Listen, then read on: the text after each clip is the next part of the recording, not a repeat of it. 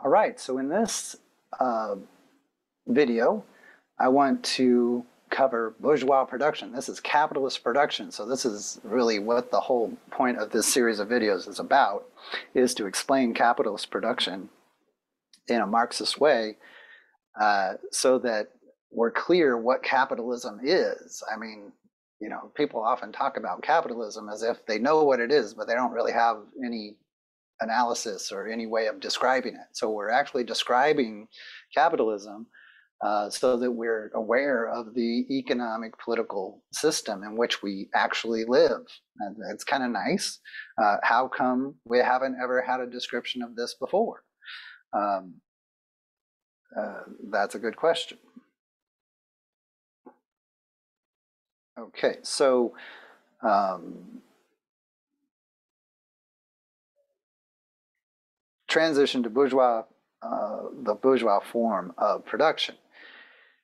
Now, using bourgeois, uh, because that's a very, it's kind of a, a, a, a, term that's thrown around within Marxism. So bourgeois means uh, capitalist, and and um, and of course a capitalist is a specific type of person, but bourgeois is the way in which even people who are not capitalist adopt the ideology of the capitalist. Um, and and I'll have more to say about that uh, as we go deeper into this.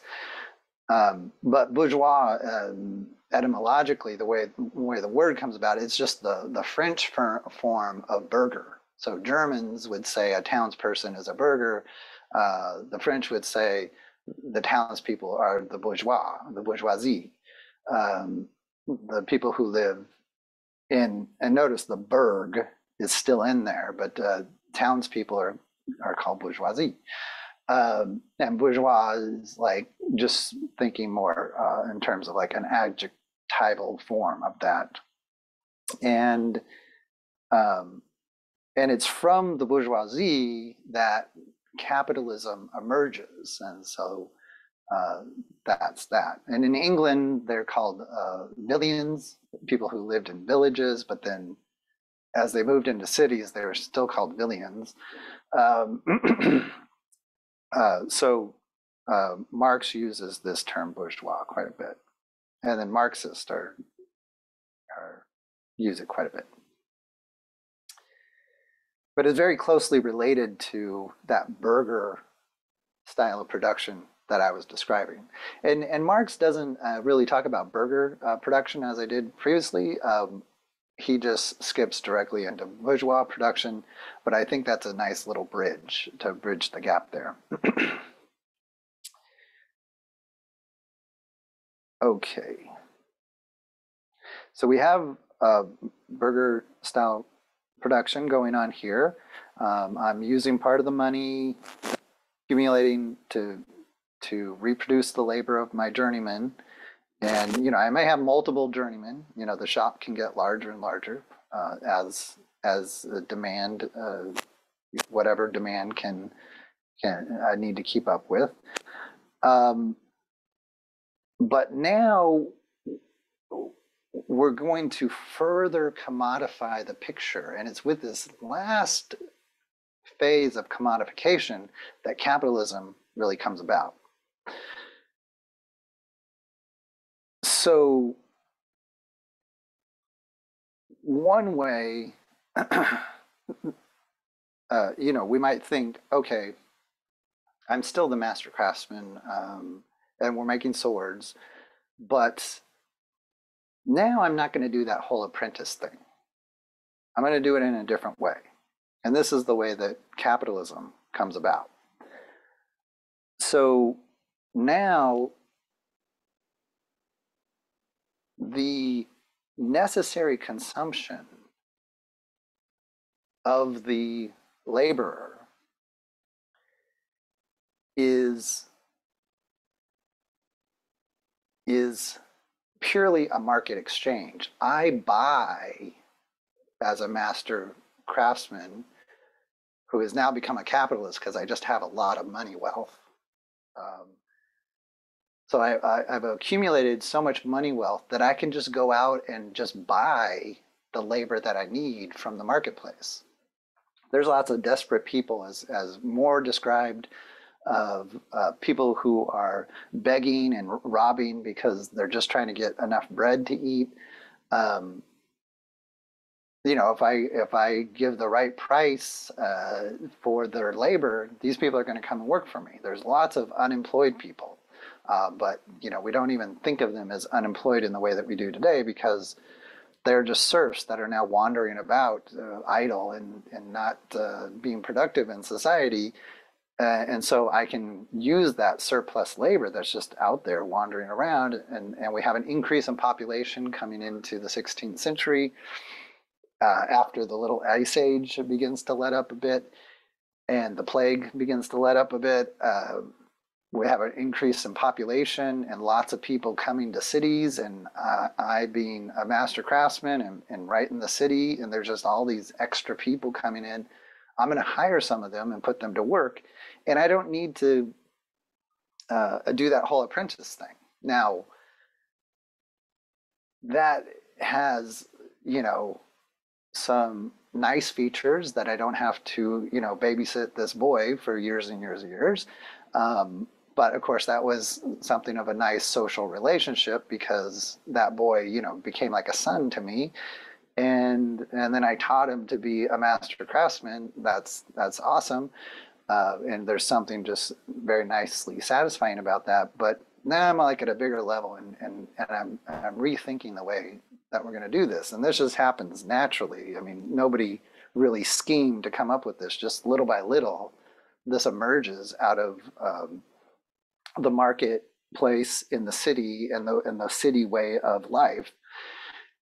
And so I just go and I buy laborers from the marketplace and I bring them into my shop, which now is set up a little differently. With the journeyman, he was making a sword from start to finish. And that was the whole point of the masterpiece is that he really shows that he can make a really great sword from start to finish. But now what I'm going to do in my shop is I'm going to start to uh, implement what's called the division of labor. And so division of labor is really important.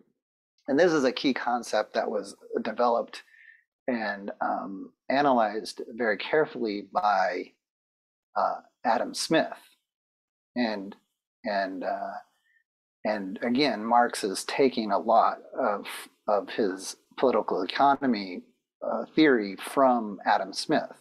So he follows Adam Smith in the labor theory of value, and he follows Adam Smith in understanding the division of labor. So that's a really good analysis, and and Marx does not um, does not um, disagree with any of that. So we have this division of labor where um, one of the laborers is just feeding the coal into the furnace, and one of the laborers is pouring the molten, and one of the laborers is making the molds. Uh, and, and they just specialize in one small part of the production process. And what happens with the division of labor, at first, it's sort of a crude division um, into you know seg- segments of the production process but little by little it gets more refined so that each laborer is doing just doing a very short uh, activity and doing it very repetitively. So they get good at doing this one thing and and and they can do it very quickly. And because they're just focused on doing that one aspect there's not a lot of moving around the shop unnecessarily.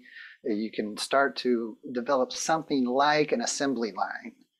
Um, not a full factory assembly line, but something similar to that. And that's, of course, where this is all going, uh, ultimately ending up with like the Ford car manufacturer in an assembly line where the, the vehicle's just moving down the line and one guy's just putting in bolts, right? And one guy's taking the hood and placing the hood, like over and over again, placing the hood, uh, placing the hood. And it, the car is just moving down the line and you're just doing one car after another eh, just doing these little pieces uh, in the division of labor.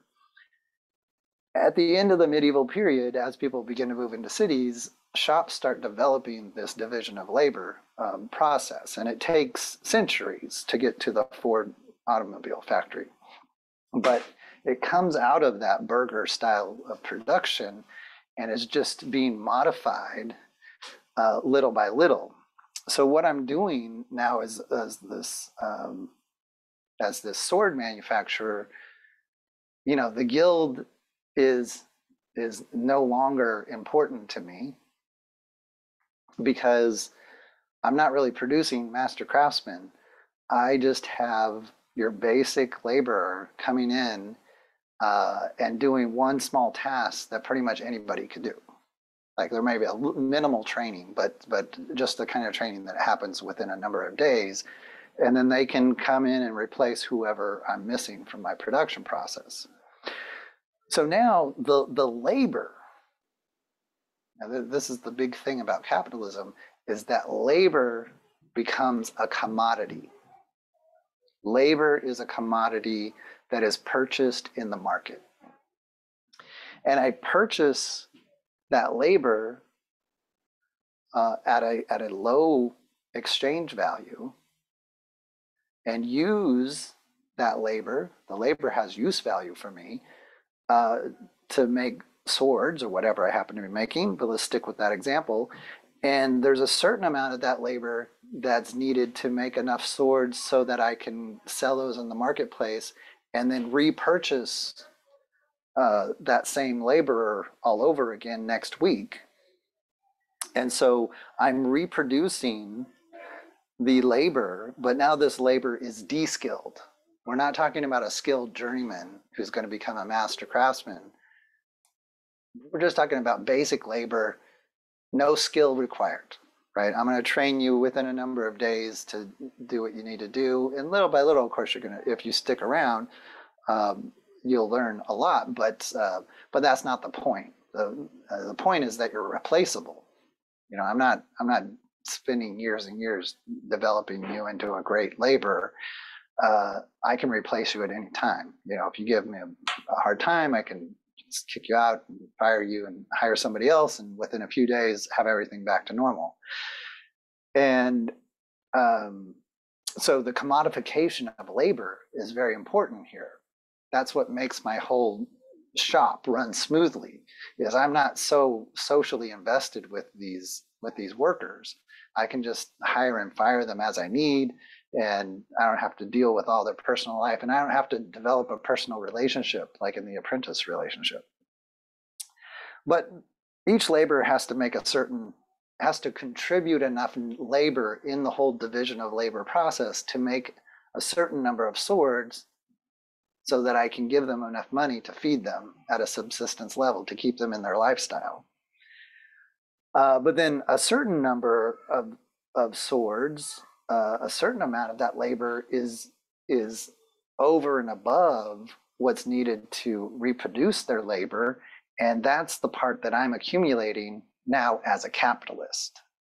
Okay. And so master craftsman morphs into a capitalist somebody that has accumulated enough wealth to go into the marketplace, buy the commodity of labor at a low price, work that labor through the variability of labor to do extra work on my behalf, and I accumulate more and more wealth. And so I turn my money into money plus a little extra. So make more money out of money. And I do that. I take money and make it more money through the capitalist enterprise and the marketplace. But the capitalist enterprise characteristic of it is this commodification of labor. and having labor that's a lot less skilled than it used to be. Okay. And this is, uh, you know, this is the system in which you live. Uh, when you go look for a job, uh, you're putting yourself on the marketplace, but not you as a person, you as a basic laborer. All right. You are selling your labor as a commodity and you're going to sell your labor for less than what it's worth um, so that the person who who employs you can get extra labor out of you and and and appropriate that labor for themselves uh, and accumulate more and more money. And you're going to be kept at your standard of living, and and uh, you know, and, and I will just hire and fire you as as I need. um,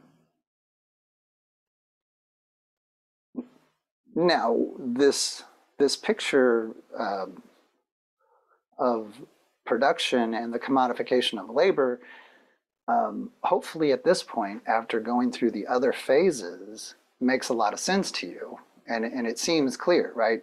Just this final step of commodifying labor and then the division of labor, and so that it's de-skilled labor. Um, that's the key difference between feudalism and capitalism. And of course, in feudalism, we're, we're lumping together ag- agrarian production and burgher production. That's all taking place within, at least within the failing, you know, the high feudal period. And as it's decaying, uh, burgher production becomes more significant, money economy becomes more significant. And then eventually you get these capitalists that just have a lot of money um, and who are not necessarily part of the aristocracy. So that's a really key difference too, is that the typical capitalist uh, in this historical um, development is not a landlord. And so they're not part of the nobility, they're not part of the whole social hierarchy.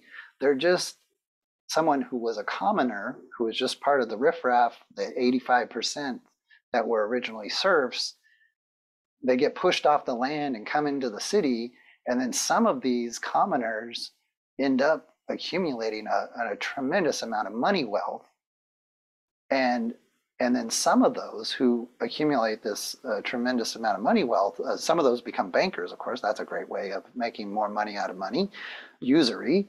But uh, another great way to make more money out of money is to uh, set up bourgeois production. Buy unskilled labor as a commodity from the market uh, buy the raw materials, the equipment, and the facilities uh, using your money, and uh, and then just manage this labor in such a way that you get more labor out of them than what you need to pay for, and then you keep that surplus labor in the form of of money wealth and you accumulate more and more money. So this is a very good way of accumulating money after money after money. Um, and uh, I don't think there's too much more to say about that. Um, but uh, of course, if you have questions uh, uh about this, then I, I'd like to hear those on uh, Pronto. You can post those questions and and of course, if we end up with a lot of questions, we can always have a Zoom session or something like that. But um, but uh, so be thinking about this. Does this does this make sense? Are there things that don't don't quite jive? You're not quite clear on. Uh, let me know. But that whole phases, uh, that whole phase story that I told you, starting with uh, species being, and then primitive production, and then agrarian production, and then burgher production, and finally bourgeois production that's all to just explain this bourgeois, bourgeois production because the, the basic core uh, is still there. Things are just kind of obscured by the marketplace. And, and uh, notice that the ecology, this green part, the green here, uh, is is the basic, all the green lines and boxes, those are, those are uh, the part that that goes all the way back to species being and then and then everything else has just been taken over by commodification uh, through marketplace exchange uh, but the basic species being structure is still there uh, and so it's just undergone all these modifications and morphines uh, until we get to the state of things. Uh, and all right, so I'm gonna I'm gonna leave it at that.